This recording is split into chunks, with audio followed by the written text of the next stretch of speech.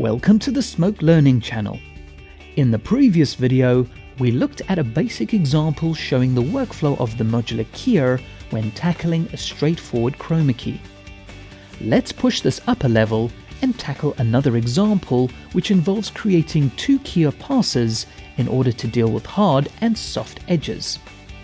We'll also throw in some rotoscoping with easy tracking, and once the matte is complete, we'll tackle the color suppression as well as enhance the edges using the powerful pixel spread tool. You can follow along with the footage provided. All the materials can be downloaded via the link on the YouTube description or type the link into a browser displayed at the bottom of this video. This time we'll start off in Connect Effects, but we'll use the modular keyer inside of the Action Compositor. Make sure that the key is connected into a media input node as the front and matte. Another point worth mentioning is that the background used in the modular keyer is referenced from the back input going into the action node. With that all explained, double click on the action node and switch to the media menu. Select the media entry containing the green screen footage. You will also find the key column and you can double click on the empty keyer box to enter into the modular keyer. Press the home icon for the dual screen split and the default UI layout. Also ensure that auto key is turned off to prevent any unnecessary animation. Let's start off pulling the hard edge key. Double click on the master keyer color pot and sample the green across the image. So there is the color suppressed image, and if you press F4, you cycle to the matte output of the master keyer node. That's not bad. Now click on an area of the image that needs refinement to bring up the on-screen sliders. You can do this in any portion of the image to refine the matte, and you can do it as many times as you like. For any stubborn grey areas, switch to the patches. You can change the sampling pop-up or press Shift 1 to switch to the first patch. Hold Ctrl Shift and draw small rectangles to add black into those areas of the matte. You might need to adjust the intensity of the patch using the slider. This patch is adding black into this area of the matte.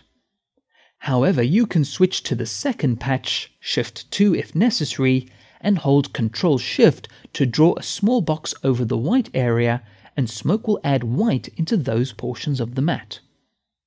So you have a large degree of control within the master keyer to pull what you can out of the image.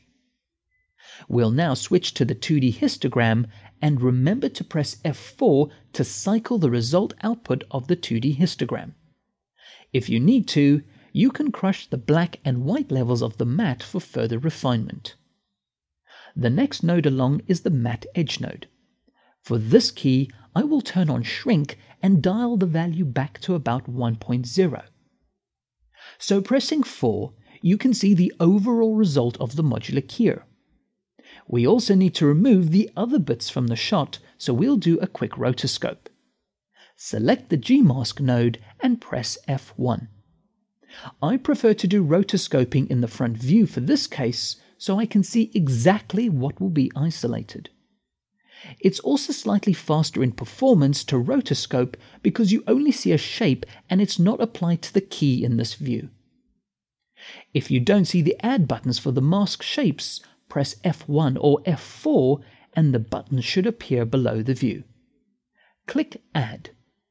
Now start clicking on the screen to draw the shape.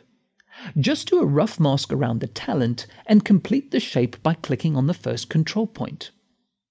Press F4 to see the result of the Gmask node. The mask is filled up with white covering the key. To preserve everything inside the mask, click the Region of Interest button. Now the talent moves over the duration of the shot, so we would like the mask to follow her. Let's perform a quick track. Make sure the mask is still selected and click the stabilizer button. With all the default settings unchanged, the stabilizer is set up to do a one-point track. The stabilizer in this context has two active trackers, but it will only use the first one. You can either ignore the second tracker or you can switch to it and turn it off. Just remember to switch back to tracker 1 so you don't get lost.